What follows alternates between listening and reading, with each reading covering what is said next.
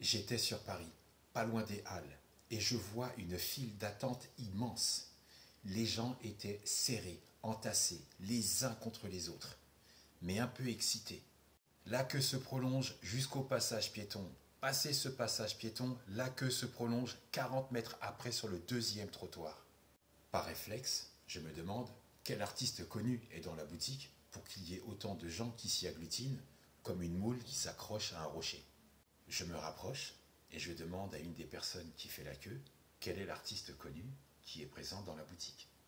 Il me répond c'est la marque américaine mythique et emblématique de donuts. Des donuts chauds, frais, cuisinés sur place tous les jours. C'est la marque iconique qui vend les meilleurs donuts. Voir autant de Parisiens, il y avait aussi des banlieusards qui avaient fait le déplacement, mais voir autant de Parisiens qui font la queue pour des donuts, en France tu as du choix tel que croissant, chaussons aux pommes, pain au raisin, et vous faites la queue pour des donuts.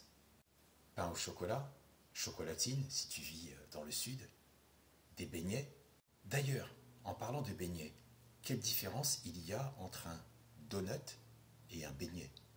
À part me dire que c'est Adolf Levitt qui a inventé une machine à fabriquer des donuts en 1920, quelle est la différence entre un donut et un beignet? Ce mec s'est dit, je vais faire un trou au milieu, c'est tout. La vraie différence entre un donut et un beignet, c'est que le donut a un trou en son centre. Il n'a rien inventé. Comprendra qui veut. S'il y a un trou, donc moins de matière, moins de poids, et donc moins à manger. Pourquoi plus cher? Des Parisiens qui font une heure de queue pour acheter des donuts plus chers qu'un croissant ou qu'un chausson aux pommes, ça me fait penser au chef d'État quand il a dit La France n'a pas de culture.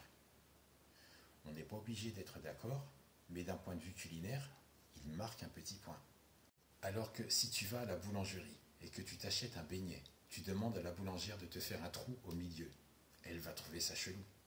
Alors que si tu le prends et que tu te le fais toi-même, c'est pareil. Mais c'est bizarre.